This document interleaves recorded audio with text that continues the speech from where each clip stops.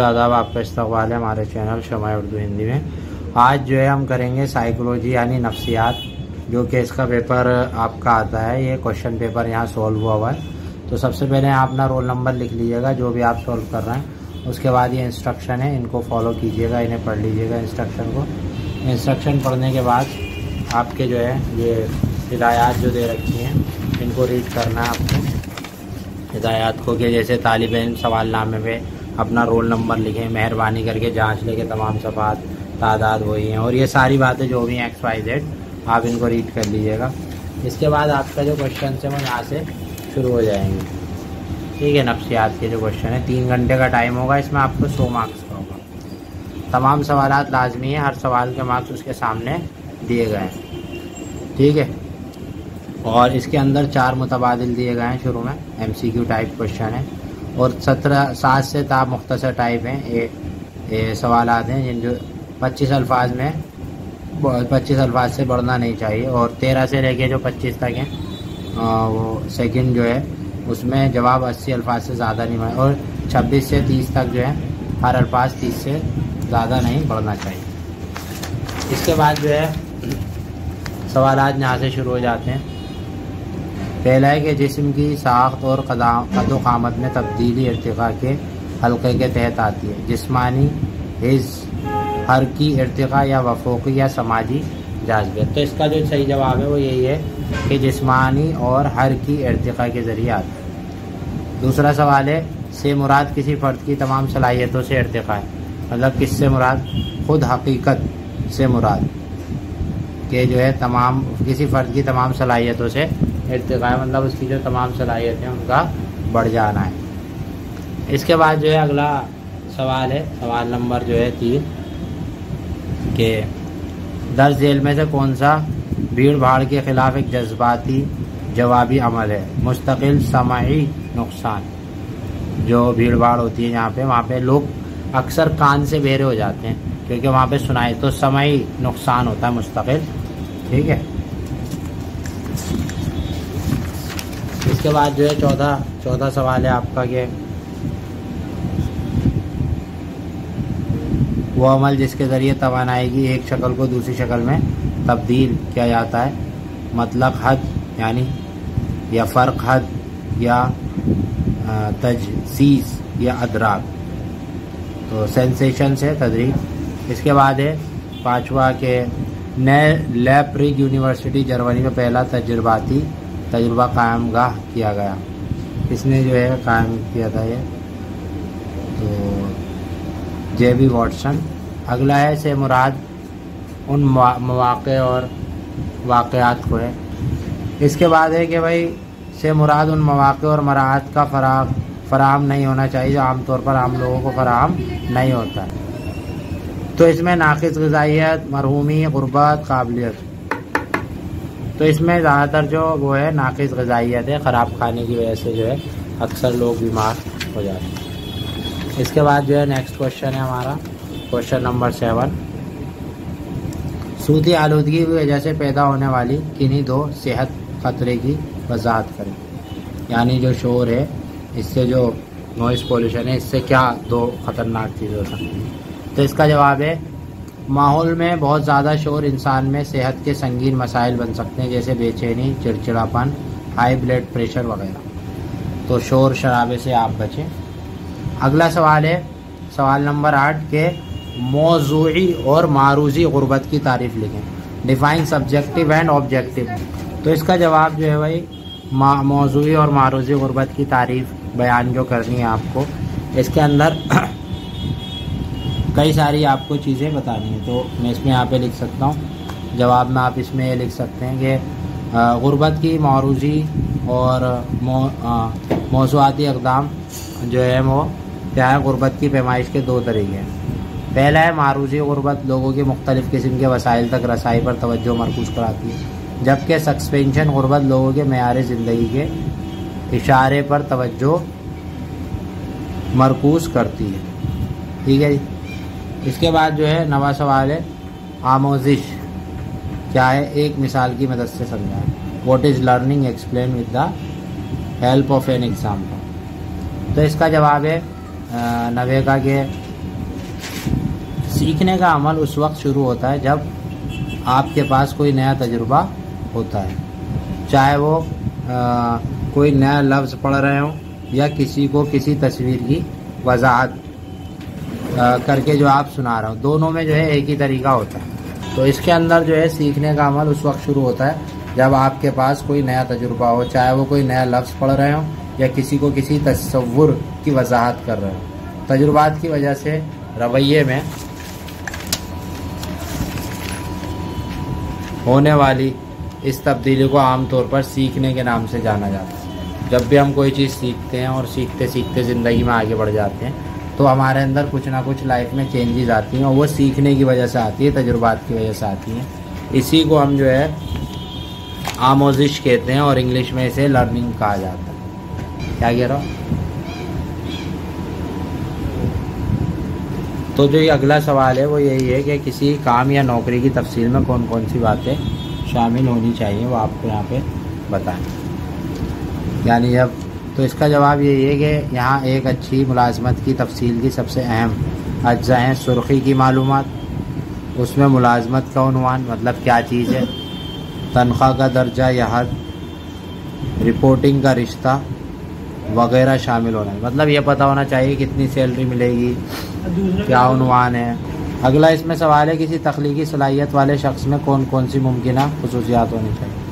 What are the possible characteristic और creative person मतलब जो नई नई चीज़ें सोचता है इंसान उसके अंदर क्या क्या चीज़ें होनी चाहिए। तो इसके अंदर है कि तख्लीकी लोग नई चीज़ें सीखने से लुत्फ़अंदोज़ होते हैं। इसीलिए उनके फारिग वक्त में किताबें पढ़ना या उन मौजूद के बारे में वीडियोस देखना शामिल हो सकता है। जो नए नए क्रिएटिव होते हैं ज़िंदा दिल होते हैं वसी नज़र यानी दूरंदेश लचकदार और हसास होते हैं। छोटे से छोटे मामले को बहुत ज़्यादा गहराई से वो हैं। इसके बाद अगला सवाल है व्हाट इज़ हेल्थ साइकोलॉजी सेहत नफ्सियात क्या है? तो सेहत नफ्सियात जो है, वो हमारी जहनी दिमाग को कहते हैं। आप देखेंगे इसमें कि सेहत नफ्सियात के बारे में यहाँ पे जो है, बहुत ज़्यादा डीपली लिखा हुआ है कि सेहत की नफ्सियात जांचती है कि हयातियाती समाजी और नफ्सियाती अवामिल सेहत और बीमारी को कैसे मुतासर करते सेहत को माहिर नफ्सियात सेहत को फ़रोग देना, बीमारी को रोकना और सेहत को देखभाल के निज़ाम को बेहतर बनाने के लिए नफ्सियाती साइंस का इस्तेमाल करते हैं। इसके बाद जो है, तेरहवा जो क्वेश्चन है, वो यही है कि मुख्तसर मुख्तसरा वजाहत करेंगे मुस्बत जजियात हमें किस तरह मुतासर करते हैं। इसको जो है हमें मुख्तसरा बताना कि हमें वो किस तरह क्या करते हैं, मुतासर करते हैं। पॉजिटिव इमोशन इफ़ेक्ट यहाँ पे आप देखें अगर, अगरचे मुस्बत असरात, मुस्बत जज्बात के तस्वुर के साथ एक अहम हद तक और दिलीव होते हैं। रिलीव होते हैं, लेकिन वो एक जैसे नहीं होते। आप इसकी मिसाल से समझाऊँगा मैं आपको। मुस्बत असरात का मिजाज की हालतों से ज़्यादा गहरा ताल्लुक होता है, जबकि मुस्बत जज्बात में मुस्बत एहसास के साथ जिसमानी हौसला अफजाई और ख़याली और तर्ज अमल की खसूसियात के नमूने शामिल होते हैं। और ख़यालात का इंसानों पर अमली अमल पर काफ़ी असर होता है। तो देखिए, मैं आपको आसान अल्फाज में समझाता हूँ मुस्बत असरात जो होते हैं, हमारे जिसम पे जो भी असरात पड़ते हैं, वो एकदम नहीं पड़ते, बल्कि क्या होता है कि हमारे वक्त के हिसाब से पड़ते हैं। किसी पे किसी बात का असर, जैसे किसी ने कोई वीडियो देखी या फ़िल्म देखी तो उस पर असरात बहुत ज़्यादा अट्रैक्टिव होते हैं, वो वैसा बनने की कोशिश करता है। और किसी ने देखी और बस ख़त्म। उसने टाइम पास करा और ख़त्म हो गई। तो इससे पता लगता है कि मुस्बत जाजियत या मुस्बत असरात जो होते हैं, अलग, हर एक पे अलग अलग इफ़ेक्ट करते हैं। लंबी और सेहत याब ज़िंदगी की कुलीद की वजाहत करें कि आप लंबी ज़िंदगी कैसे जी सकते हैं और अच्छी ज़िंदगी कैसे जी सकते हैं। तो इसका जो वो सही है, वो ये है कि सबूत वाजे जो लोग वर्जिश नहीं करते, उनकी नस्बत औसता ज़्यादा जीते उनकी नस्बत औसता ज़्यादा बाकायदगी से जिस्मानी सरगर्मी, दिल की बीमारी, फालिश, कैंसर वगैरह के इम्कान को कम करते आप देखिएगा, जो अक्सर लोग हल्की बुल्की एक्सरसाइज करते हैं, वो बीमार कम पड़ते हैं। या आपको बुढ़ापे में जहनी तौर पर तेज़ रहने में मदद देती है। और जो लोग एक्सरसाइज करते रहते हैं, उनका जहन भी क्या हो जाता है? तेज़ हो जाता है। इसी वजह से जो है जिस्मानी एक्सरसाइज हमारे दिमाग को भी क्या करती है? तेज़ करती है। इसके बाद है बिनोसला। इसके बाद जो है, ये है बिनसोला शख्सी अमल, यानी 16 पीएफ सवालनामे की मुख्तसर वजाहत, शख्सियत की पेमाइश के लिए ख़ुद रिपोर्ट पेमा की हैसियत से कीजिए brief sixteen personality factor self report measure of the personality इसके बारे में आपको जो है लिखना है यहाँ पे। पंद्रहवें क्वेश्चन में। तो यहाँ पे आप इसका जो है जवाब देख सकते हैं कि सोलह पर्सनालिटी फैक्टर सवालनामा रेमल्ड बी कैल्ट के मुताबिक हेलब्रिड की दिहाइयों की तजर्बाती तहकीक के दौरान तैयार करता है, खुद रिपोर्ट शख्सियत का इम्तहान है। सिक्सटीन पी एफ़ शख्सियत एक पैमाना फराहम करता है। इसे माहरीन नफ्सियात और दीगर जहनी सेहत के पेशेवर अफराद भी नफ्सियाती अरूजी की शख्सियत और इलाज के मनसूबाबंदी में मदद करने के लिए एक तिब्बी के तौर पर इस्तेमाल कर सकते हैं। सोलह पी एफ़ तिब्बी और मशरूआती अमल मुतल मालूम में फराम कर सकते हैं, जैसा कि फ़र्द की बसीरत की सलाहियत, खुद अतमादी अमली अंदाज वगैरह। तो यह पंद्रह होगा। अब इसके बाद जो सोलवा क्वेश्चन है, वो ये है कि मुख्तलिफ़ रहनुमाई तर्ज और काम ग्रोह के साथ उनके ताल्लुक की फितरत बयान किए। जो काम गिरोह जो होते हैं, उनके साथ उनका जो ताल्लुक होता है, उसको यहाँ पे आपको क्या करना है, बयान करना है। तो ख़ुद मुख्तार क़्यादत, यानी ये सख्त तरीन इकसाम में से एक है। अमराना रहनुमा फ़ैसला साजी के अमल पर मुकम्मल कंट्रोल रखते हैं। क़्यादत का यह अंदाज़ मौसर हो सकता है, जब फ़ैसला करना फौरी हो। ब्यूरोक्राफ्ट क़्यादत, अगरचे खुद मुख्तार लीडरों की तरह सख्त नहीं होते। ब्यूरोक्राफ्ट लीडर भी दर्जा बंदी में जबतों और हैसियतों की सख्ती से नाफिज करने का रुझान रखते हैं। करिश्माती की आदत, करिश्माती रहनुमाओं एक मुतदी मौजूदगी है जो उनके टीम को उनकी क़्यादत के पैरों पर पैरवी करने की तरगीब देती इसके बाद जो है सत्रवा क्वेश्चन है कि दबाव पैदा करने वाले अहम अवामिल के मुख्तलिफ़ ज़ुमरों को बयान कीजिए। Mention the broad categories of the stress मतलब तनाव जो है जो पैदा होता है वो किन चीज़ों से होता है इंसान के अंदर, ठीक है? तो उसको यहाँ पे आप देख लें, तनाव वो चीज़ है जो तनाव के हार मौसर के अखराज के सबब बनती है। तनाव की दो वसी अकसाम है, जिसमानी तनाव और नफ्सियाती जिसमानी तनाव वो तनाव है जो हमारे जिसम पर दबाव डालता है। यानी जो है बहुत ठंडा, गर्म दर्जा हरारत, चोट, दायमी, बीमारी या दर्द। और नफ्सियाती दबाव वो, दबाव होता है, ये वाक़ात हालात और अफराद, तबसरे या कुछ भी हो, जिनका हम मनफी या धमकी आमेज, तशहर करते हैं। मतलब किसी को जो आप जहनी तौर पर मुतासर करते हैं तो वो सारी चीज़ें जो है, नफ्सियाती दबाव कहलाता है। ठीक है? इसके बाद जो है अट्ठारवा क्वेश्चन है हमारे पास के, समाजी इदराक में होने वाली गलतियों या तरफदारियों के वसाइल की वजाहत करें। अट्ठारहवें सवाल का ये जवाब है यानी समाजी इदराक में, जो हमारे समाज में गलतियाँ होती हैं, उसकी क्या वजह होती है?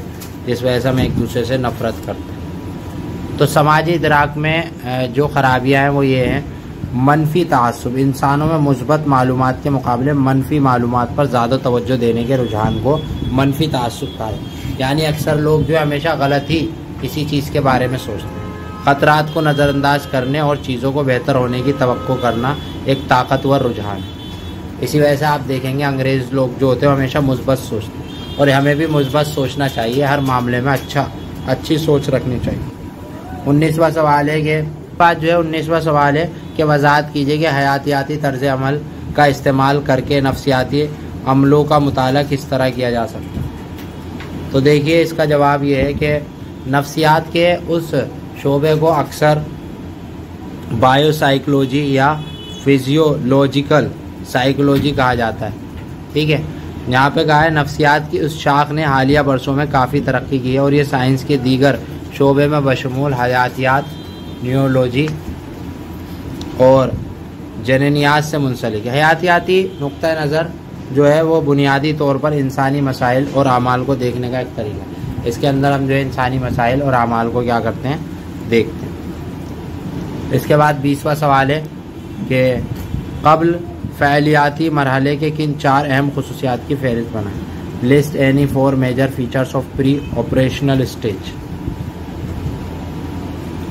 तो इसका जवाब है कि प्री ऑपरेशनल मरहले चार मराहल में से दूसरे हैं जिसकी तजवीज़ जैन बैगिट शेर खोर बच्चों और नौमर की इल्मी शीर खोर बच्चों और नौमर के इल्मी नशोनुमा को बयान करने की राइट एक तरक्याती माहरीन हयातियात था।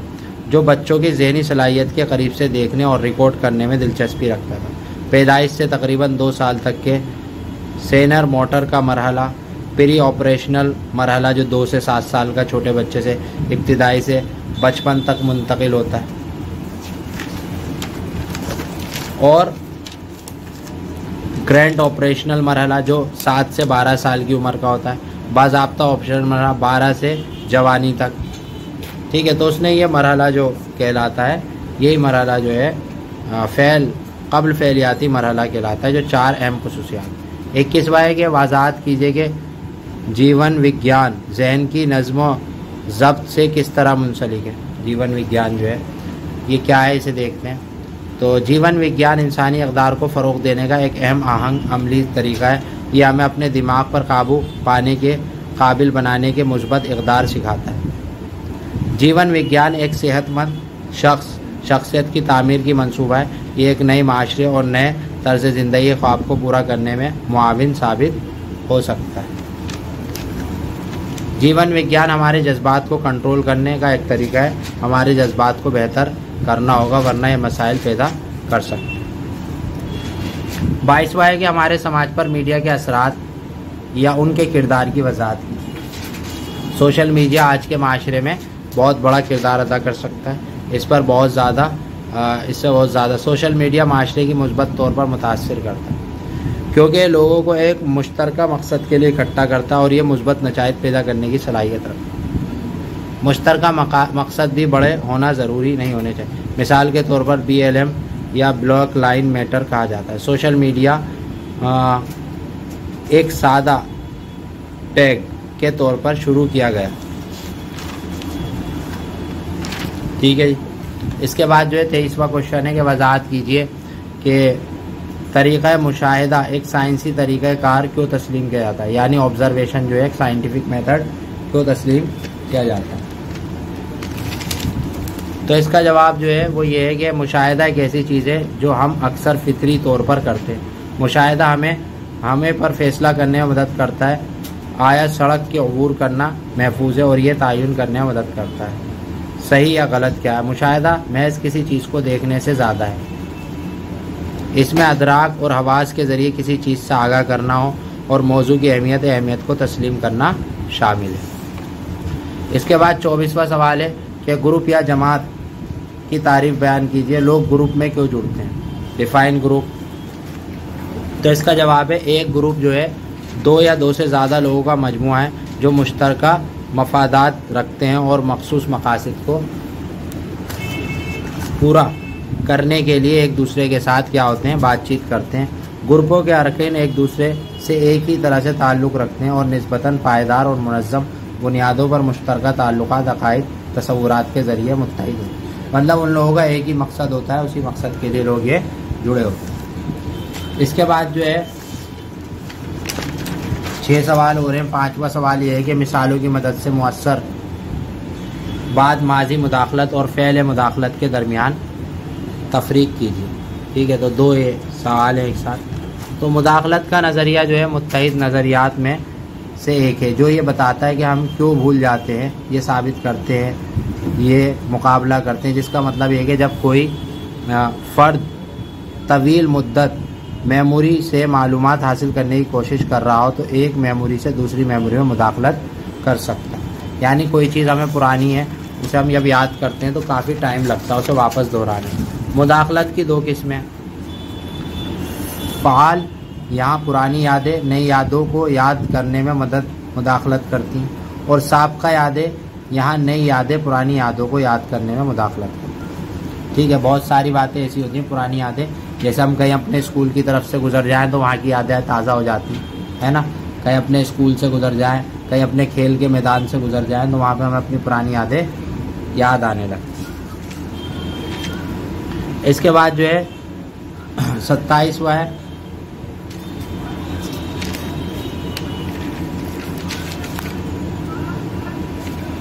छब्बीसवा आप देख लेगा इसलाह पेशा की तारीफ़ बयान करनी है, पेशा क्या है, जो भी हम काम करते हैं। सत्ताईसवा है इस बयान के जवाब पेश कीजिए।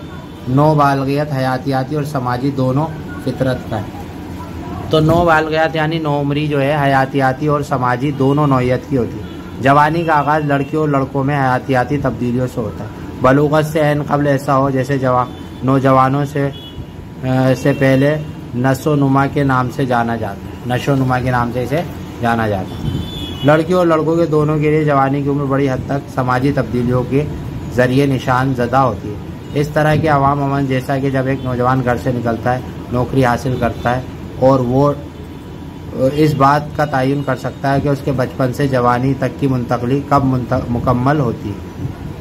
ठीक है अट्ठाईसवा सवाल है, योगा हमारे रवैयों, सोच और बर्ताव को किस तरह जो है तश्कील करती पढ़ाई लिखाई के मामले में सबसे अहम रुकावट ये होती है कि हम घंटों पढ़ाई करते हैं लेकिन याद नहीं रहता। योगा की मक्स से जब हम आसन और पुराने याम को अंजाम देना सीख लेते हैं तो हमारे सांस लंबे और गहरे हो जाते हैं और हम एक मखसूस मकाम पर अपनी तवज्जो मरकूज कर सकते हैं। योगा जो है, योगा बर्फ़, हर बाकायदगी के साथ अमल करने से हमको अफसरदगी से छुटकारा मिल सकता है। अतराफ़ में रहने वाले लोगों के साथ हमारा, हमारे रिश्ते, हमारी खुशी और दुख दोनों ही का बायस हो। जब हम योगा की मश्क करते हैं तो ताउन मुकाबला आरई की जगह ले देगा हम दूसरे से बेगर्ज और बेलौस मोहब्बत करना सीख जाते बिल्कुल जो है, इसके अंदर ये पॉइंट बिल्कुल सही इसके बाद आपका उनतीसवा है कि मिसालों की मदद से बुनियादी ज़रूरतों की वजाहत करें। हमारी ज़रूरतें और महरिकात को बनाने में सकाफ़त और माहौल के किरदार पर बहस करना। तो इसका जो जवाब है वो ये है कि जो हमारी बुनियादी ज़रूरियात हैं, हर फ़र्द की ज़रूरियात या तकाजे में जिनका तयन फ़र्द के सामने आने वाले वामिल से होता है। ये जो ज़रूरियात होती हैं, इंसान की बका से जुड़ी होती हैं। खुराक, लिबास, जूते, रिहाइश सेहत वगैरह, यानी रोटी, कपड़ा, मकान। तमाम लोगों को ऐसी चीज़ों की ज़रूरत होती है जो ज़िंदगी को बरकरार रखने और बहबूद को यकीनी बनाने के लिए ज़रूरी है। बुनियादी तौर पर इंसान को ज़िंदा रहने के लिए दरकार बुनियादी ज़रूरियात हैं। उनमें खुराक, पानी और रिहाइश, हवा और लिबास शामिल है, यानी रोटी, कपड़ा और मकान ये जो है इंसान की जो है बुनियादी ज़रूरियात है। इसके बाद जो इसका जो आखिरी क्वेश्चन है, वो यही है कि सरगर्मी फहरिस्त क्या है? वक्त के इंतज़ाम व इनिज़म्स। इन राम्स की किन्हीं चार हमतों हमलियों की वजाहत करें शेड्यूल के बारे में। तो इसका जो जवाब है वो ये है कि एक सरगर्मी के शेड्यूल एक किस्म की बसरी मदद है, जो एक मुकर्रा मुद्दत में रूनुमा होने वाले वाक़ात या कामों की तरतीब, मुस्तकिल बसरी याद दहानी फराम करती है। ये बयान करते हैं कि कई सरगर्मी कब होगी, कब ख़त्म होगी और उसके बाद क्या होगा। फौरी और अहम। पहले ये करें, फौरी और अहम नहीं हो सका, इनको तफवीज़ करें और आने वाले हफ्तों में इनके लिए वक्त तय करें। तो ये जो था पूरा इसका जो क्वेश्चन पेपर था साइकोलॉजी का इम्पोर्टेंट था आपके लिए। इसी तरह के जो क्वेश्चन होते हैं, हर बार आते हैं।